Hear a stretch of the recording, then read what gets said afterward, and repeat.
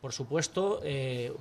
Unidos Podemos no aplicaría los recortes que eh, se están anunciando, que además se derivan de, entre otras cosas, las políticas irresponsables aplicadas por el Partido Popular, como es la reforma, la, rebaja de los impuestos aplicada en el, año pasado, que explica en gran parte la desviación del déficit público. Nuestra perspectiva es que España no tiene un problema de gastos, sino precisamente lo contrario, un, problema de baja recaudación y lo que hay que hacer es mejorar la progresividad fiscal y eh, eh, luchar contra el fraude para garantizar una buena financiación de los servicios públicos. El enfoque que desde Unidos Podemos eh, proponemos es que hay que garantizar un crecimiento suficiente de las eh, pensiones y que lo que hay que asegurar es la financiación de estas pensiones a través del eh, sistema fiscal en general, es decir, hay que mejorar la financiación del sistema de pensiones. Que debemos abordar la reestructuración de la deuda de los hogares que por circunstancias relacionadas con la crisis o el desempleo tienen dificultades para